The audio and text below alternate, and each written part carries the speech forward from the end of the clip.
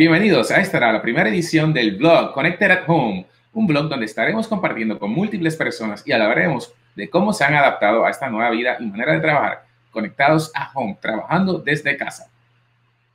Y es un placer para mí presentarles a nuestro invitado hoy, eh, Víctor Rivera de Atención, Atención, que está estrenando este blog.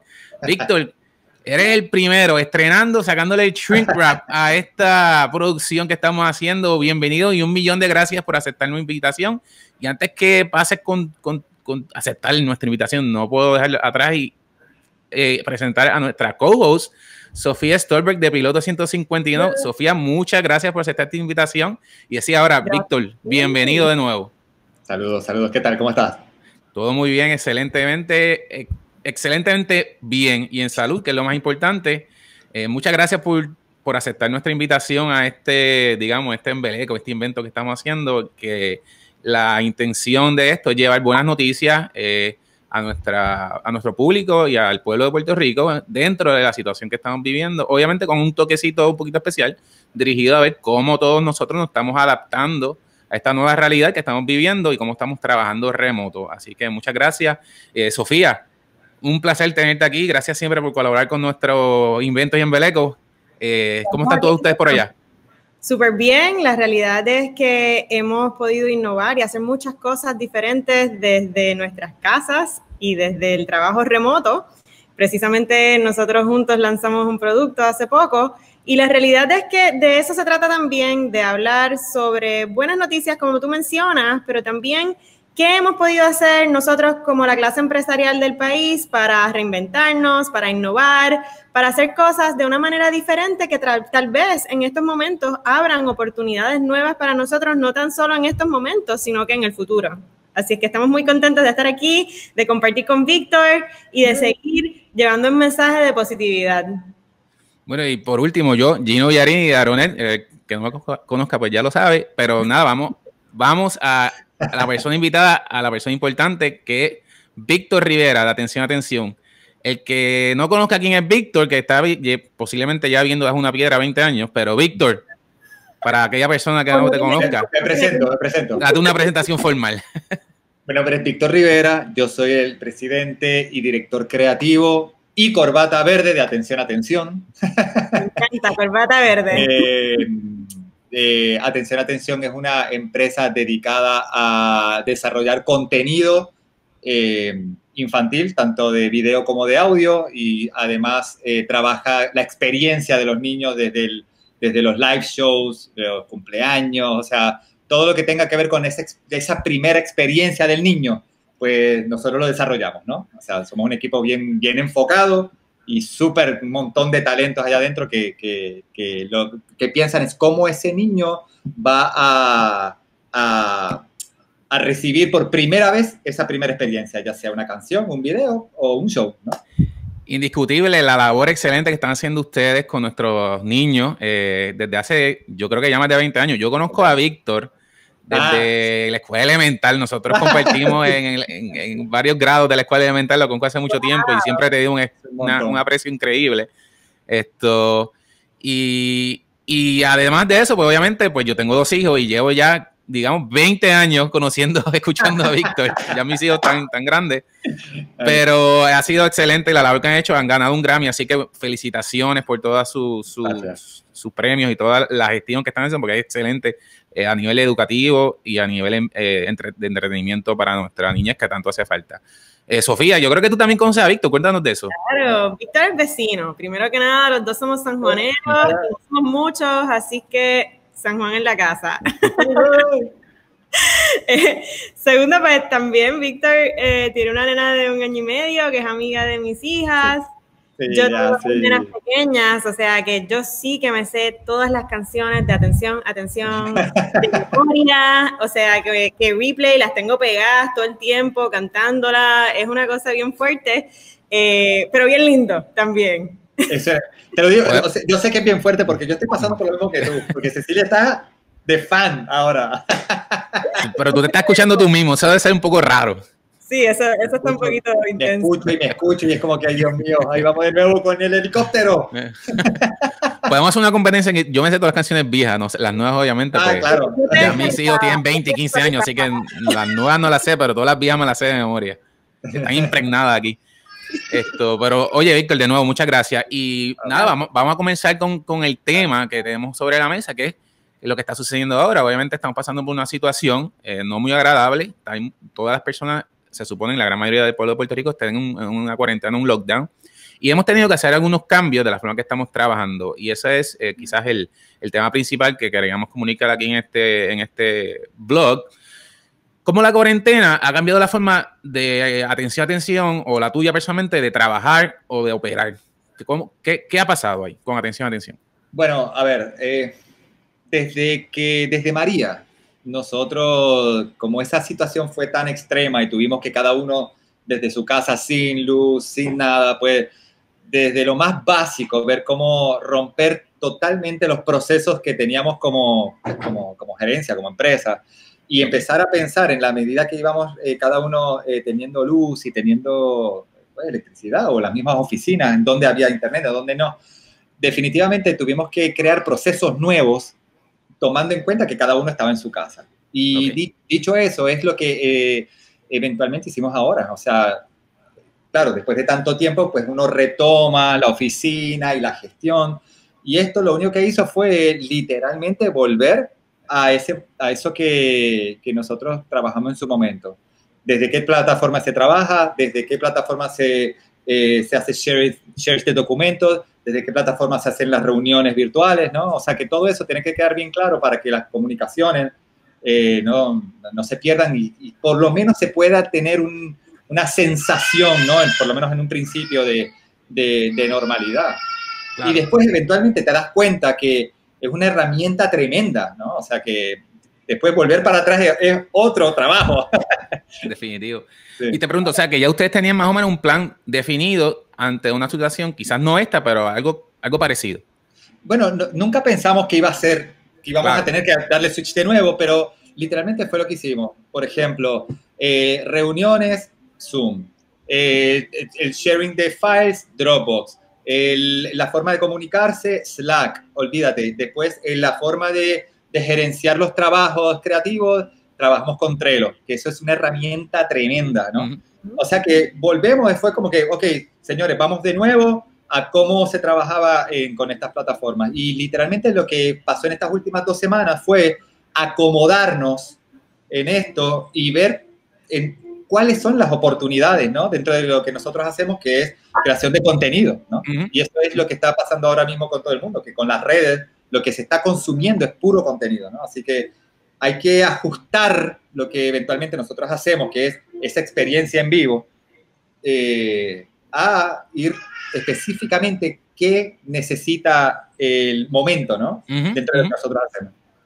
Y háblanos un poquito de eso, porque eh, Recientemente tuviste un concierto live, mis hijas las dos atendieron, estuvo espectacular, ¿verdad? Eh, queremos escuchar sobre ese momento, obviamente pues sabemos que, que, que es un reto eh, lograr hacer una producción de esa naturaleza desde la casa de uno y, cuéntanos un poco más sobre eso. Eh, otra de las plataformas que nosotros utilizamos en su momento para tratar de llegar a la gente que se podía conectar cuando estábamos remoto era OBS, por ejemplo. Entonces ya nosotros teníamos esta herramienta a la hora de decir, pues, ¿sabes qué? Pues vamos a hacer un live.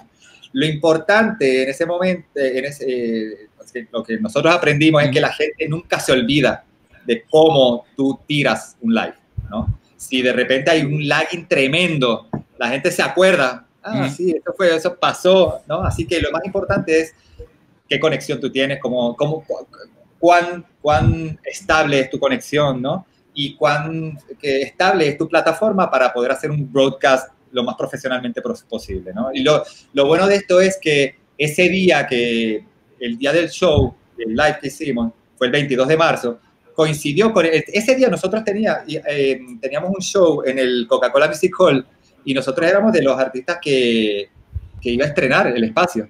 Así que en una realidad paralela, nosotros mm. desde supone que hubiéramos estado en el Coca-Cola.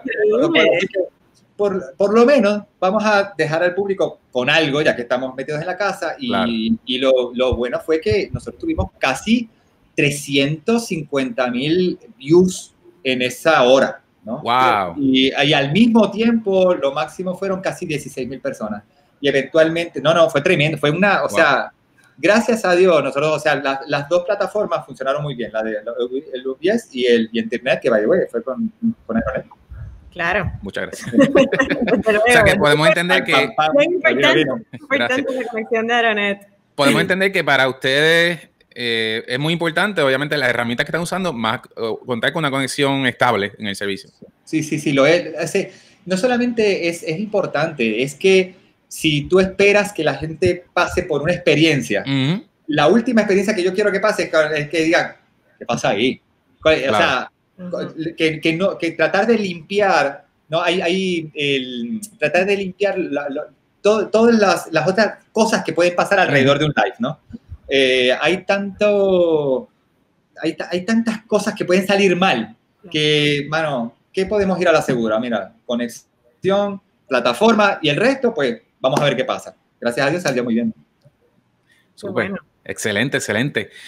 Entonces, eh, cuéntanos un poquito, eh, ¿qué ajustes han tenido que hacer ustedes eh, o, o, cómo se han tenido que reinventar dentro de esta situación? ¿Cómo, cómo atención, atención, han enfrentado los, los nuevos retos?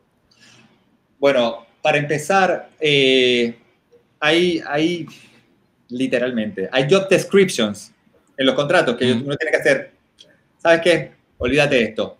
Ahora, en este tiempo, tú vas a hacer esto, esto, esto, ¿no? Como para apoyar las otras okay. gestiones de las personas para poder acomodarse a la situación y al momento, ¿no? Y sobre todo para darle agilidad, porque una de las cosas difíciles a trabajar remoto es la agilidad de los procesos. Que, pues, esperando por uno, esperando por otro, de repente te fuiste a tomar algo, volviste, se te fue el día entero. Cuando, cuando tú estás en la oficina, te estás encima de otro, preguntaste y, y lo sacaste enseguida, ¿no? O sea que literalmente esto de, de, la agilidad del proceso ayuda mucho, ¿no? Cuando, cuando tienes a las personas enfocadas y las sacas de, ok, olvídate de lo que habíamos hablado, tú enfócate en esto, ¿no? Para, que, para agilizar esos procesos. Claro. Excelente. Oye, y Víctor, cuéntanos un poco, ¿qué viene por ahí? ¿Más conciertos live? Yo quiero ser la primera en enterarme, me vas a tener que textear cuando tengas el próximo concierto live. Mira, mira yo te digo una cosa, eh, una de las cosas que, que, que, estamos pensando y estamos poniendo sobre la mesa es el tiempo que esto puede durar. ¿no? Porque, por ejemplo, si todos sabemos que esa primera semana se desbordó de lives, se desbordó, todo el mundo hizo conciertos, aquí, acá, todo, este, el otro, el otro, uh -huh.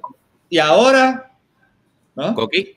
Coqui. Entonces, literalmente es cómo se, eh, cómo se va distribuyendo el, el, material ¿no? y el contenido que pues nosotros vayamos a, a, desarrollar. Esa es la parte más complicada, porque contenido tenemos, mira, pero de sobra.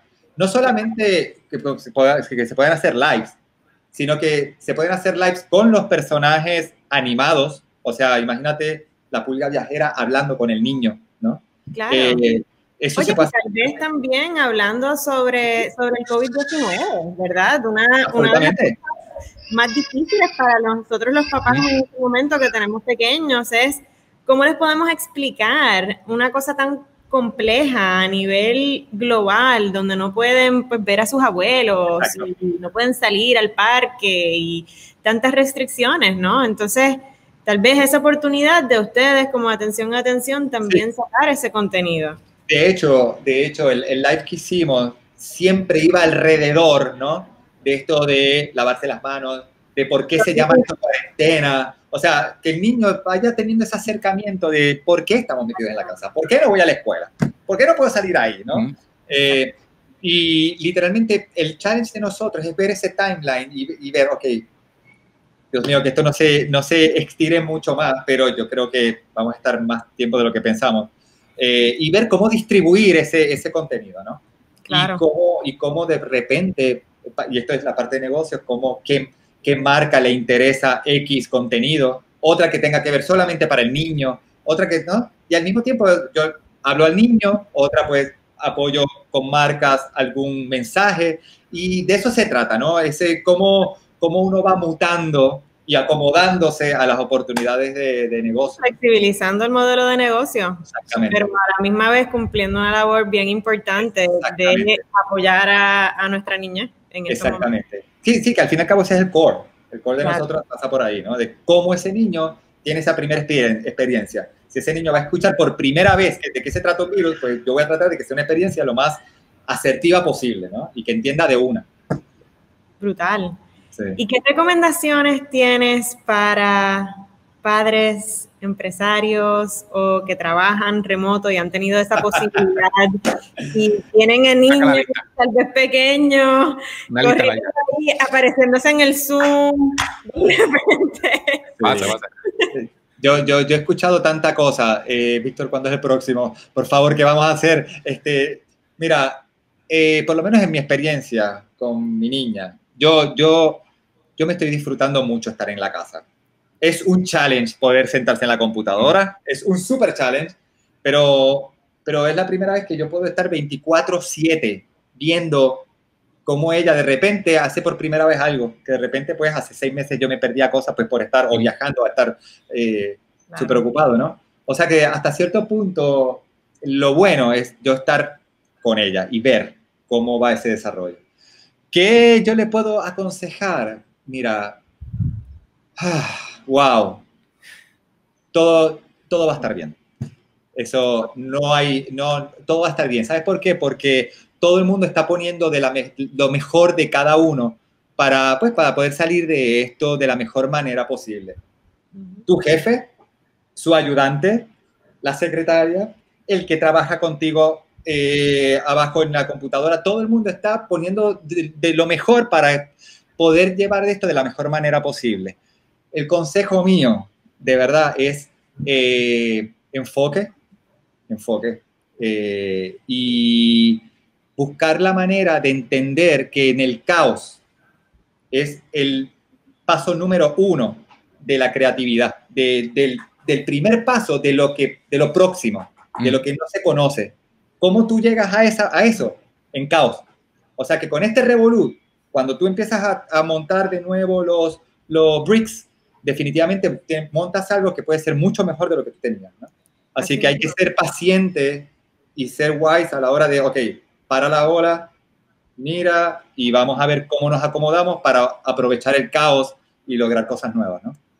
Brutal, bueno, eso, eso es un mensaje para empezar, independientemente de si tienen hijos o no. O sea, definitivamente. es que, es que si la calma y aprovechar el momento para innovar. Si tienes hijos, estás chavado. Porque tienes que, lo tienes ahí y tienes que darle eh, atención. Atención, atención. Estamos esperando el próximo, estamos esperando el próximo concierto. Sí, sí eso, va a pasar. Este, pero yo lo que quiero decirles es que disfruten el momento, ¿lo sabes?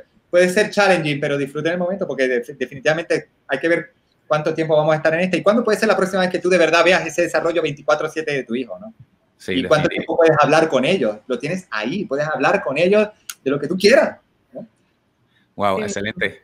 Víctor, el tiempo no está traicionando, ah, pero ha sido tremenda entrevista. Eh, muchas gracias por tu tiempo. Eh, eh, mira, en verdad,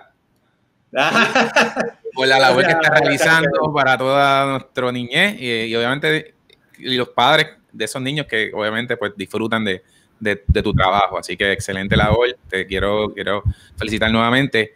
Y muchas gracias por ser nuestro primer invitado, de aceptar ese reto. Estamos obviamente de pláceme, así que un millón de gracias. Eh, quiero nada, eh, ir cerrando entonces con el agradecimiento también a Sofía por ser nuestro co-host en este también primer, el primer edición de Connected Home Blog. Muchas gracias a, ti, Sofía, también por aceptar este reto. Y nada, eh, lo voy a dejar abierto con una invitación a Víctor para que quizás en el futuro tener una conversación un poco más extensa. ¿Qué te parece? Excelente. gracias. Esto, gracias, Víctor. Gracias, Sofía. Este ha sido Connected at Home Blog. Eh, un blog donde estamos hablando de cosas buenas dentro de la situación. Y muchas gracias nuevamente. Eh, hemos compartido un rato muy agradable. Recuerden de mantenerse sano y saludable a todos ustedes que nos están escuchando este video. Muy importante, lavarse las manos y seguir todas las recomendaciones de las agencias saludables de salud pertinentes. Y recuerden, este virus lo vencemos todos juntos y stay at home. No se olviden de eso, muy importante, que todos estén en salud y hasta la próxima. Víctor, muchas gracias. Sofía. Gracias, Gracias. Chao. Adiós.